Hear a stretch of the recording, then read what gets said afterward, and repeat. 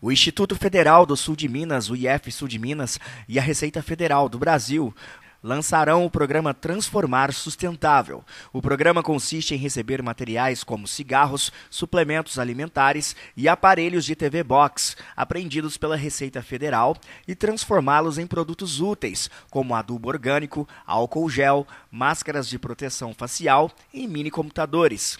Esses produtos serão doados para entidades sociais, governamentais e população de baixa renda. No evento de lançamento, serão doados mini computadores para 10 municípios e adubo orgânico para pequenos produtores rurais da região.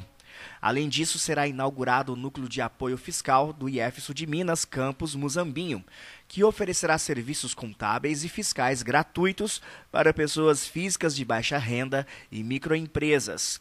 O evento ocorrerá no auditório do Prédio H do campus Muzambinho, nesta quinta-feira, 22 de junho.